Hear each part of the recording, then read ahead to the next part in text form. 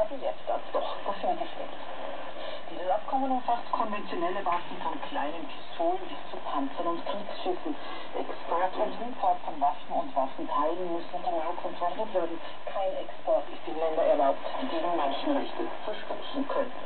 Als historisch und als Meilenstein wird das Abkommen bereits bezeichnet. Doch Vorsicht ist angebracht.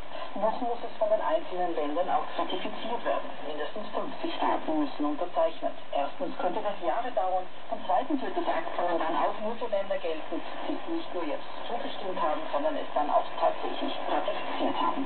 Tschechien beendet heute sozusagen offiziell seine Eiszeit mit der Europäischen Union, nachdem Ex-Präsident Václav Klaus sowohl den Fiskalpakt als auch die Ratifizierung des EU-Rettungsschirms ESM abgelehnt hatte, gibt es heute auf der Prager Burg eine Inszenierung.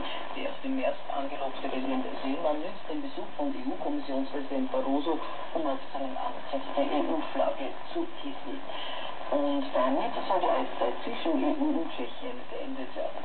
Es erinnert ein wenig an die biblische Geschichte vom verlorenen Sohn. Zwar bietet EU-Vater Barroso nicht das beste Fiancé für einen Festtagsbraten auf, dennoch scheint es, als würde hier eine Heimkehr groß inszeniert.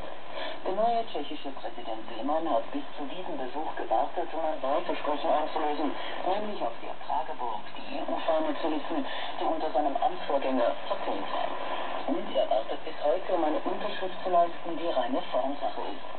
Erst heute ratifiziert auch der tschechische Präsident den permanenten Euro-Rettungsschirm ISM, nicht etwa weil Tschechien in den Euro drängt oder etwas einzahlen wolle, sondern weil alle 27 EU-Staaten die Änderung des Lissabon-Vertrags billigen müssen, mit der sich die Eurozone diesen Rettungsschirm geschaffen hat.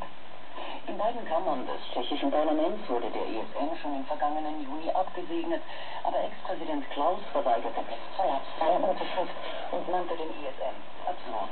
Unter Seemann ist es anders.